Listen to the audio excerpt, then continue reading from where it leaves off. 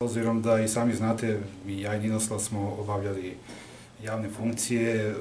znamo kako se radi,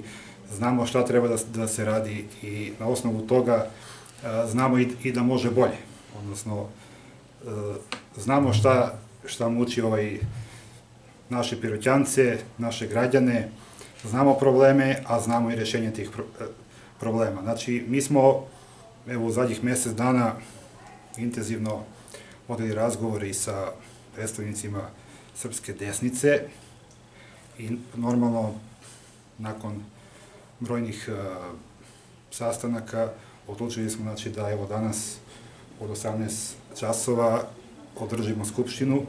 osnivačku skupštinu Srpske desnice, uh, nakon čega ćemo dakle krenuti u tu neku, da kažem, i lokalnu kampanju,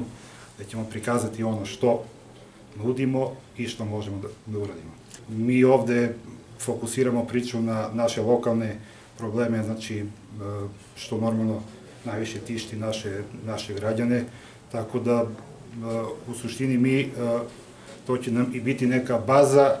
da iz svog nekog iskustva koje, koje smo stekli napravimo nešto znači, na ovim izborima i da prikažemo građanima šta, šta je ono što mi nudimo.